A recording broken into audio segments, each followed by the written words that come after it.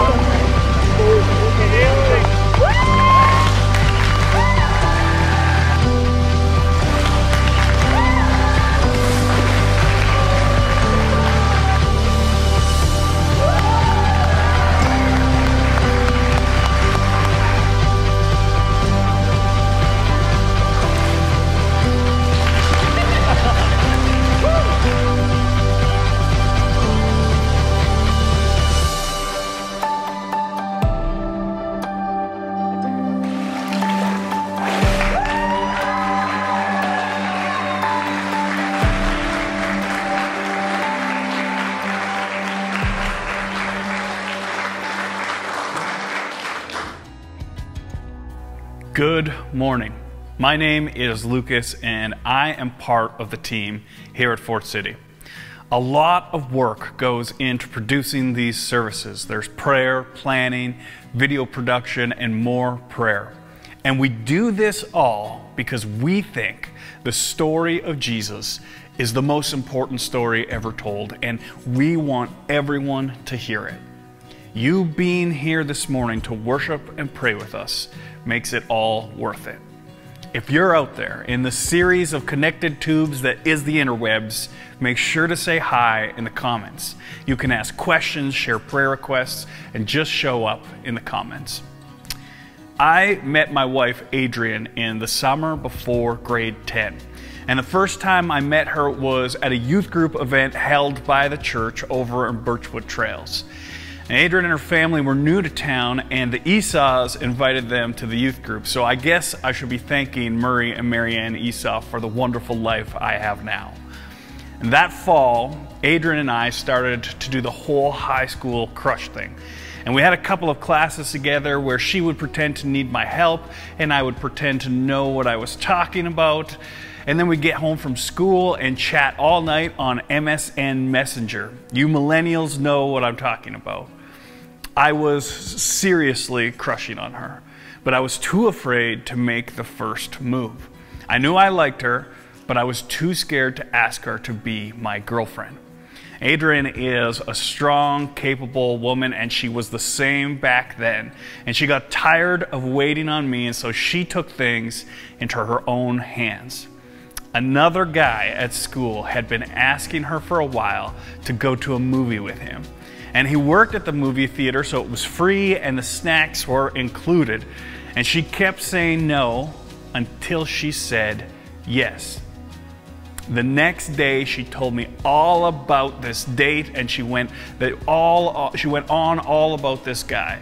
And let's just say it lit a fire under me, and shortly after that, I got the courage to ask her to be my girlfriend. Adrian knew exactly what she was doing. She didn't want to force me to do anything, but she did want to help me see what I probably should be doing. This is often how God works with us. He wants us to follow Him. He wants us to give our lives to Him. He wants us to make the choice to turn towards Him and the life that He wants for us. He doesn't want to force us. So, along the way, He does things to help draw us in.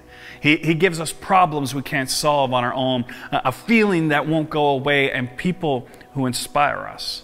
He draws us to Himself, but we have to make a choice to take that step and to follow Him.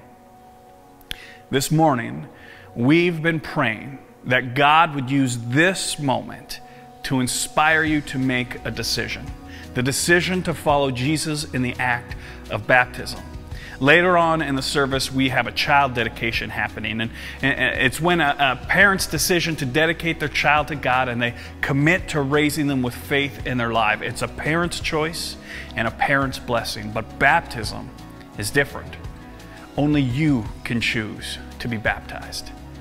This morning, if you've decided to follow Jesus, then it's time to decide to get baptized. If you're feeling that small, quiet voice in you saying, maybe it's time, that just could be the Holy Spirit doing what He does best. If you are interested in baptism or just want to talk about it with me, uh, there's a link in the chat right now where you can request that. Fill out that form and I'll get back to you. Okay, guys, that's it from me. Let's spend some time in worship together.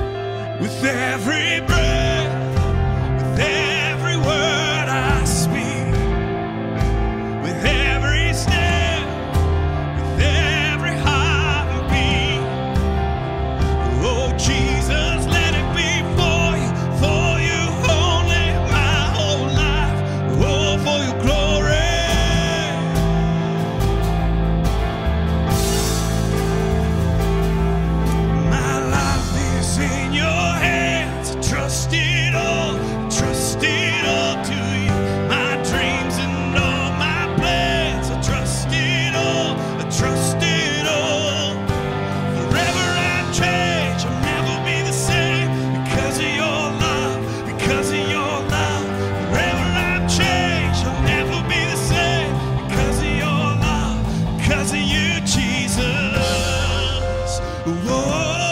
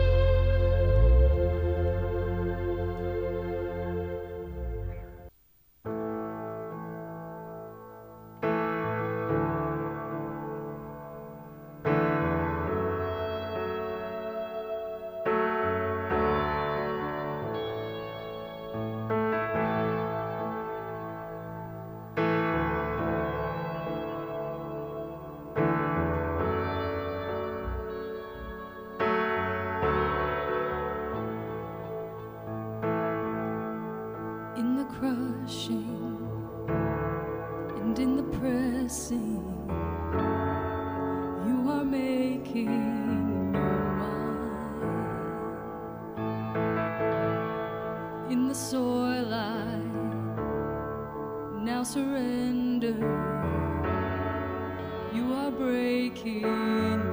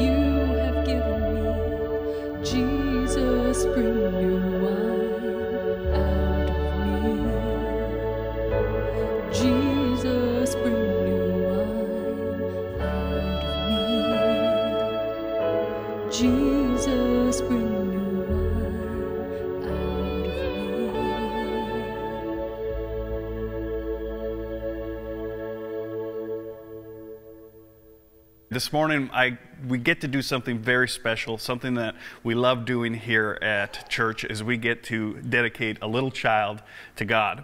And one of, it's one of the special things that we get to do uh, that we love doing around here. It's when parents decide that they want to commit to raising their child with faith in their lives. It's parents dedicating to God uh, their children and teaching them the ways of Jesus. Our kids are incredibly important, and child dedication is just one of the ways that we get to show that. Now, I got to be on the stage a few years ago with you two when we dedicated your first child, Kason, and it is a privilege that I get to be here and dedicate Camry with you as well. So, thank you guys for inviting me to be part of this. Uh, there is an amazing moment in the life of Jesus when he showed us just how important children are to him. And I'm going to read it. It's from Mark 10. And it says, People were bringing little children to Jesus for him to place his hands on them, but the disciples rebuked them. And when Jesus saw this, he was indignant, and he said to them, Let the little children come to me, and do not hinder them, for the kingdom of God belongs to such as these. Truly, I tell you, when Jesus says truly, he means it's important. And truly, I tell you, anyone who will not receive the kingdom of God like a little child will never enter it. And he took the children in his arms and he placed his hands on them and he blessed them. And that's what we're going to do today. We're going to bless Camry. Our kids are important to God. This little girl is so very precious and treasured to Jesus. And so I'm going to say a few uh, parts of the dedication, and then at the end, it's just, you just need to acknowledge that, yes, you agree. All right? So, believing that and knowing that God has made you accountable for her, do you confess that it is your purpose to dedicate Camry to the Lord and to His service? Will you pray with her and for her? Will you instruct her faithfully in the way of Jesus, teach her to read the Word of God, to pray, and to lead a holy life, and do all that is in your power to bring her to the knowledge of Jesus Christ as her Savior and Lord? Awesome. You know, we know the saying, it takes a village to raise a child. And you guys are lucky to have an incredible village surrounding you. Uh, some of them are actually in the room with us today. They're an incredible blessing to you. And so, for everybody here today and everybody who is watching online, uh, just as an act of commitment to this family, we're going to pray together uh, and dedicate this little girl to God. So, let's do that now. Let's pray. Jesus, we just take a moment to thank you for this beautiful, precious life that you've created. And we thank you that you have given her an incredible future that lays ahead of her. And Jesus, we pray for Camry that she would come to know you at an early age, that she would grow into a, a powerful and strong and capable woman of faith. Jesus, I thank you for her parents and the decision they've made today to dedicate her. And I pray that you give them wisdom and, and lead them as they continue to be incredible parents to this little girl. Jesus, we thank you for the blessing of Camry, and we just pray a blessed life for her. In your holiest of names, amen. You guys, thanks for letting us do this today. It's really been awesome. A good morning, or whenever you happen to be watching this. Well, well no government uh, decision is without controversy these days. This week, our Premier, Jason Kenney, outlined a reopening plan that would allow us at Fort City to go to in person services starting on June 13th at one third capacity. That's in two short weeks if everything goes as planned. We'll have a sign up system for those two Sundays, but yeah, I'm really excited about us getting to back together in in-person services. Then, if things continue to go according to the Kenney plan, the restrictions will be mostly removed for Sunday, July 4th as we enter into what everyone is calling like the new normal. Friends, we will not have had full freedom to meet for 15 months. That's well over a year. I'm pumped that we'll be able to move back into in person services without restrictions. That's hopefully July 4th at 10 a.m. And hey, you'll still be able to catch us online. I, I, think, yeah, we, we had like three families watching us from Gregoire Lake last Sunday. How cool is that? You'll still be able to do that wherever you are. Now, today in my message, I'll be talking about prayer and spiritual warfare. And, and let me tell you that Evil One has been very much at work over the past 15 months as many believers have drifted further and further away from being connected to a church family and from God Himself. All across our country, people are exhausted, confused, angry, and increasingly distant from God. The evil one has been at work wanting to weaken uh, the church, but our God is greater. And here's what grips me. People in our city have uh, just gone through 15 months where the world has gone crazy and they've, they've lost control of their lives. And friends, they are open to a love that is supernatural, healing, restoring, full of freedom. Many don't realize that the love they're looking for is found in Jesus, that the restoration, healing, and freedom they seek comes from Jesus, but they are open, far more open than they have been for a long time. So, we in the church, yeah, we're a little bit exhausted at a time when people in our city are hungry for a supernatural touch of some sort to experience that love of another kind. So, all of us, we, we, we need a fresh touch from God to help us transition well into this new normal so that we can be a part of what God is up to in the lives of so many of our friends who do not yet know Jesus. So, two things I would like to ask of you as we move into this new normal. Will you pray? Pray like you've never prayed before for yourself and your family, but yeah, for the mission of your church, that we would make Jesus visible in this city, that, that lives all over our city would experience the love of Jesus in a life transforming way. Pray with passion, pray with conviction, pray for your church. And at the same time, would you commit to giving? To giving sacrificially so that we can seize this moment with strength to help not only you and your family get back on track, but to see more and more people touched and healed by Jesus. Your giving will see lives change. Your giving will make a huge difference. So please give, and please consider automating your giving. And keep praying that God will bless us and empower us to be a huge blessing to our city. Will you join me in prayer as I pray for all this? Father God, Thank you that we get to be the church for such a time as this. And I just pray that you would pour out your spirit on the people of Fort City, touching us and healing us at our point of need so that we can be healthy and strong and be people who make Jesus visible to our city. Use us powerfully to be a source of healing and wholeness to all who need a touch from Jesus. And I pray for the finances that are needed to keep us strong and doing the work that you've called us to do. Lord, it's been a ride, but you've been faithful, but still, it's still, it's been a bumpy ride. Would you move each of us to give, to bring you glory as lives, not only in this church family, but throughout our city, are touched and changed for the better, like right now and forever. We pray in Jesus' name. Amen. We battle against the world, the flesh, in unseen forces, in dark places. Therefore, train yourself to be godly. Guard your heart. Prepare your minds for action. Take every thought captive. Resist the devil. Demolish strongholds. Stand firm.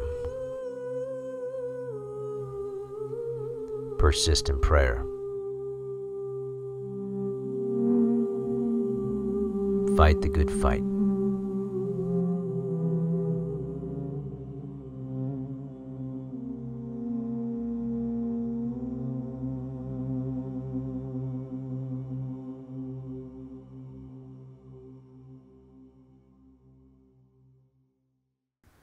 Uh, today, as we uh, wrap up our message series, Amen, where we've been asking Jesus to teach us to pray just as his disciples asked him, this week, our, focus is on that part of the Lord's Prayer that says, And lead us not into temptation, but deliver us from the evil one. Jesus himself and the writers of the Bible would want us to know that there's a battle going on that's not always visible, that takes place in what can be best described as the unseen realm that there is an evil one and a team of demonic beings out there that are powerfully at work in this world and even powerfully at work in your life, in my life, whether we're aware of that work or not. So, okay, what do you think? Is it crazy to believe that Satan and his demonic beings are alive and at work in this world today? Or is that just a, a bunch of hysterical myths that some antiquated church people believe? Before you're too quick to answer, let me ask Has there ever been a time in world history where evil doesn't rear its ugly head in very dark, unimaginable ways? Has there ever been a time when people have not been caught up with some really dark, immoral behavior and life destroying addictions? I mean, what really is behind the death of George Floyd and the ongoing entrenched racism that can be found in every part of the world, including our own city? Or, or what about the mess that we see right now in the Middle East? And, and why do people in the West so quickly take sides with one side or the other? Are not both sides gripped by the influence of the evil one, making truth and justice so hard to find? The Apostle John says, We know that we are God's children and that the whole world lies under the power of the evil one. We are God's children, but we live in a world where not one single part of this world escapes the influence and damaging power of the evil one. The whole world lies under the power of the evil one. The whole world, including your world and my world. Jesus, he made the same contrast about why he came to this world. He, he came to undo the work of the evil one, he came to push back on the rule of Satan. Jesus said, The thief, talking about Satan, comes only to steal and kill and destroy. I have come that they may have life and have it to the full. We call it an unseen battle. But hey, we, we see the results of this battle everywhere. We see it in the homeless, the addicted, the abusive, the violent, the manipulative, the seducer, the fraudster, the unscrupulous. They are either victims of the evil one or instruments of the evil one. And while the evil one works in the unseen realms, it's not hard to see what he's doing. And Jesus came to undo the work of the evil one so that you and me can have that life and live it to the full. As for the unseen demonic side of all of this, let me tell you a story. A year and a half ago, uh, Jane and I went to Cuba on a missions tour with our church family, the Christian Missionary Alliance. It was not all that long ago that churches were totally banned in Cuba. There is now limited freedom for churches. And one of the churches we visited was uh, in a very poor, uh, uh, very uh, densely populated part of Camagüey, Cuba. Camagüey is in the central part of Cuba, about 550 kilometers southeast of Havana. It is the second or maybe third largest city in Cuba. The Alliance Church in Camagüey is just awesome in the midst of poverty, including their own poverty. I mean, there is no affluence in this church. They still do so much. When the last hurricane came through that part of Cuba, they took it upon themselves to build homes on the property they owned and, and to let families move into those homes uh, uh, rent free. They are not a financially well off people, but out of their own funds, they built homes for their neighbors who lost homes.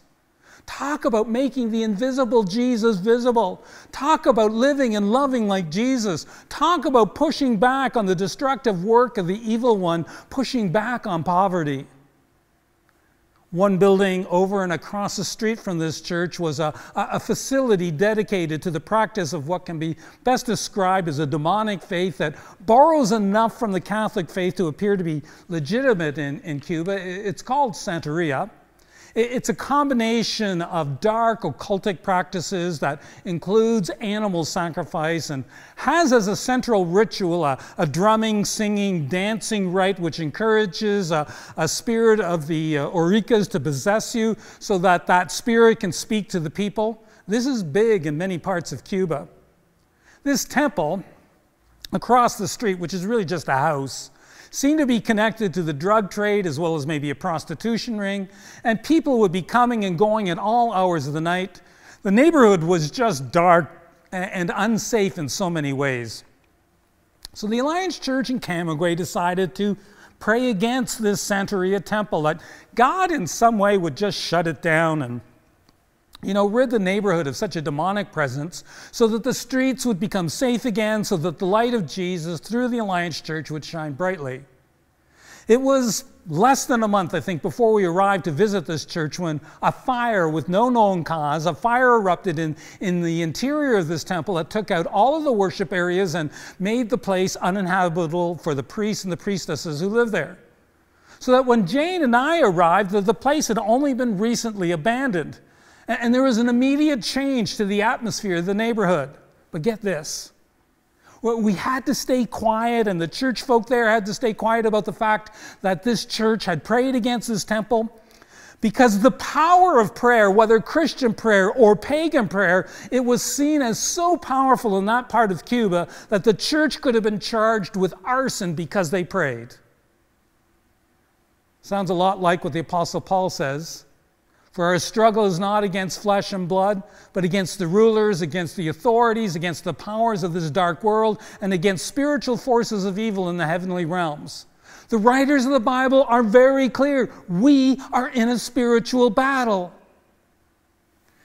If you've been around Fort City for any length of time, you know that one of my heroes is St. Patrick of Ireland. I've done a couple of full messages on him, one uh, of them on St. Patrick's Day in 2019, if you happen to want to hear more. Because, yeah, there is so much to love about this guy and how God used him to transform a nation so much. On a side note, if genetic research at a Trinity College in Dublin is correct, I am one of about 3 million guys of Irish descent who are genetically related to the High King of uh, Ireland, known as Niall of the Nine Hostages. He, he, was responsible for conducting raids on Wales and Britain that saw uh, Patrick kidnapped as a youth.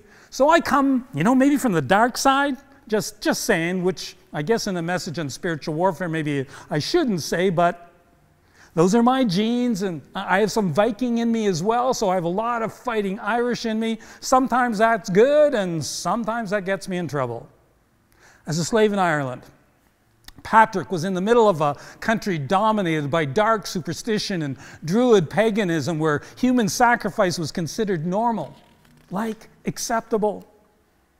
After escaping slavery, uh, Patrick had a profound sense that God was calling him to go back to Ireland. He had these prophetic dreams that the people of Ireland were begging him to return and share the good news of Jesus with them. Just, just powerful stuff. And so, called of God, he went back to the land that he escaped from as a slave. And he would, I mean, he put himself in instant danger of death for escaping as a slave. But God used him powerfully to push back against the fear and the darkness that gripped Ireland, so that by the time of his death, Patrick left behind a Christian nation. It's an incredible story. Friends, God used Patrick to undo the destructive work of the evil one. He got slavery eliminated in Ireland. Human sacrifice became unthinkable. And war between the various tribes was incredibly reduced. That's pushing back against the work of the evil one. That is spiritual warfare. So, yeah, with Holy Spirit empowered courage, Patrick stood up to the bloodthirsty kings who ruled the land. He worked hard, passionately preaching the message of Jesus while establishing churches and monasteries that, that served the people, that just served them with love and compassion. God used them in a land that he describes as full of pagan barbarians, worshippers of idols, and unclean things. And he saw the people of that land turn to Jesus in huge numbers. But you got to know, through it all, it was a deeply spiritual battle. Here's how Patrick uh, describes one particular night. He says, While I was asleep, Satan assailed me violently, a thing I shall remember as long as I shall be in this body. I believe that the key to Patrick's success, the, the key to his authority and anointing as he pushed back on the dominant dark pagan practices of his day, was because he learned how to pray. That rough time in his life when he served as a slave, as a shepherd boy in the hills of Ireland, he learned how to pray and to pray with passion. Let me, let me quote Patrick again as he describes his prayer life as a slave. In a single day, I have said as many as a hundred prayers, and in the night, nearly the same, so that I remained in the woods and on the mountain even before the dawn. I was roused to prayer in snow, in ice, and rain, and I, and I felt no injury from it, nor was there any slothfulness in me as I see now, because the Spirit then was fervent in me. Friends, there is a strong relationship between ongoing, passionate, fervent, militant prayer and seeing the world around you change for the better. Prayer changes things for the better. Prayer pushes back on the work of the evil one and, and changes our world for the better. Prayer is that powerful.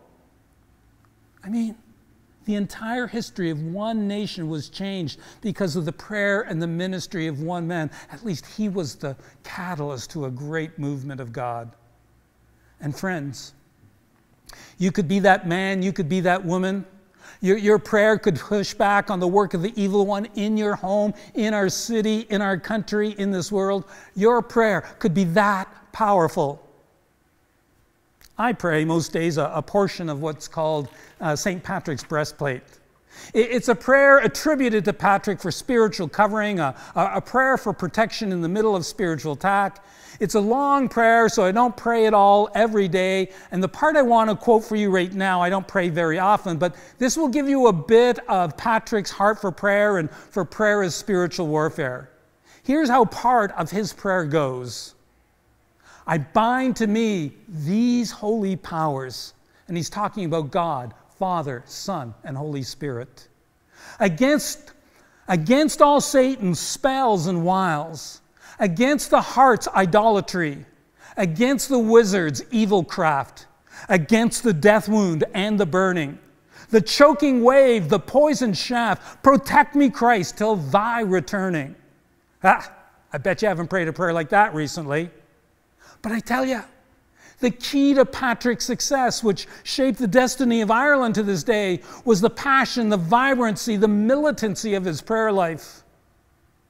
And let me just take a moment to call you to prayer like that for passionate, vibrant, militant prayer for the mission of our church, Fort City, for the sake of this amazing city of ours.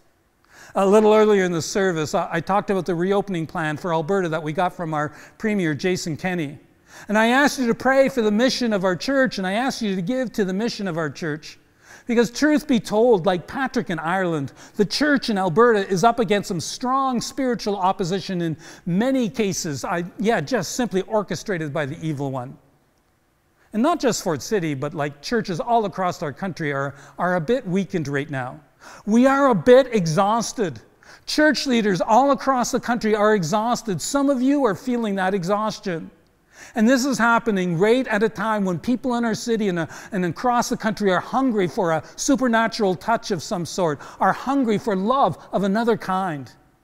And you can be assured that the evil one will be at work trying to keep the church down at a time of such opportunity. So, would you pray? Pray not just for yourself and your family, but do pray for yourself and your family. But, but would you pray for your church? That God would turn up powerfully and give us the energy we need, the volunteers we need, the finances we need to seize this moment as we seek to make the invisible Jesus very visible in our city as we seek to live and love like Jesus. Would you push back against the work of the evil one and pray for a great outpouring of Jesus on our city, that, that our church would be one of many churches who are able to receive all the people that God is calling to Himself in these days of the new normal? Hey, I, I wish I had more time to tell you more stories of the life of Patrick. Man, he so inspires me as I seek to push back on the kingdom of Satan. Patrick's fervent, even militant prayer is the kind of prayer we need to see the victory we so yearn for, where Jesus overcomes the darkness of this world. And yeah, all of this is true for you personally. More than you realize, you live in a world where the evil one and his demons are always at work and at work wherever you are. But there's good news. The good news is that you can overcome and bust through the work of the evil one. You can bust through what the evil one is doing in your family, among the people you work with, in this city. How?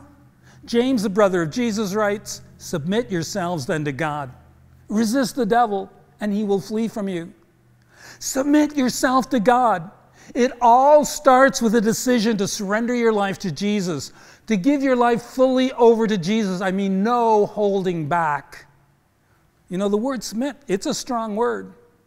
But when you submit your life to Jesus, He, he fills you with His empowering Holy Spirit. He gives you the ability to resist and push back on the work of the evil one. When you submit yourself to God, you can take authority over the evil one and make him flee we can, through Jesus, undo the destructive work of the evil one. Okay. The Apostle Peter writes Be alert and of sober mind. Your enemy, the devil, prowls around like a roaring lion looking for someone to devour. Be alert and, and know that we do not have to be victims. Be alert and resist the devil, and he will flee. Be alert, and through prayer, you undo the work of the evil one around you. And as you do, God uses you to change the circumstances you live in, to change life in your home, where you work, our church, our city. I'm talking powerful stuff. Holy Spirit stuff that powerfully changes lives for the better. But it starts with you submitting to God and being willing to step into the battle, into some spiritual war. The Apostle Paul has a, a well known passage, passage about all this. We've already touched on it a bit, but Paul writes Put on the full armor of God so that you can take your stand against the devil's schemes. Paul is telling us to stand our ground in this wild world we live in. Really, what he's saying there is he's doing what James is doing, telling us to submit to God and resist the work of the devil. Take your stand against the devil's schemes, and when you do, he will fall. You know, in a world of collapsing morals, where trust in government is eroding at breakneck speed, where we're cynical about the major institutions that create stability in our society, where brutality and violence is yet again escalating, we need to see the schemes of the evil one behind all of this. We must see that part of what's going on in this crazy world of ours is because our world is under the power of the evil one. Friends, the devil and his cohorts are alive and well, and their destructive work is easy to see if you are willing to see. And so we're called to take our stand and resist. We are called to pray. We're called to look to Jesus and seek his mighty power to push back on the evil that is all around us. And our God has given us the ability, even the authority, to do just that. And hey, you resist the devil and you take a stand every time you share your faith in Jesus with someone who doesn't yet know him. Every time you invite someone to a church service or to watch online, sharing your faith is spiritually powerful. You resist the devil and you take a stand every time you forgive an enemy, stand up to a bully, care for the poor, create something beautiful, behave with honesty, promote racial justice as you push back on ethnic inequality. You resist the devil and you take your stand when you speak words of hope, when you refuse to gossip, when you choose to act with love and kindness, when you befriend someone who is different than you. You resist the devil and take your stand when you pray fervently, passionately, militantly for the work of God through your church and in our city. James, the brother of Jesus, says, Submit yourselves then to God, resist the devil, and he will flee from you. And Jesus himself asks us to pray and lead us not into temptation, but deliver us from the evil one. Let's pray and do both right now. Will you join me in prayer? Our Father, would you forgive us our trespasses as we forgive those who trespass against us? Would you lead us not into temptation, but deliver us from evil? And we, your children, humbly submit our lives to your leadership, to your lordship. And we pray, God, give us a fresh filling of your empowering Holy Spirit. And then, with your Spirit filling us to overflowing, would you use us to stand strong, to resist the devil and push back on his evil work in our lives and in this world? Would you empower us to live and love like you in the midst of a world that is under the power of the evil one? And as we live for you, may your kingdom come, may your will be done through us as it is in heaven. We pray all this in the powerful name of Jesus. Amen.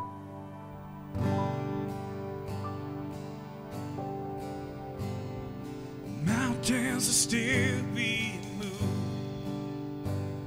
The strongholds are still being loosed.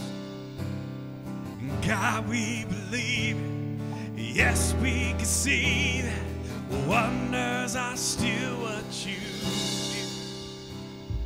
And bodies are still being raised.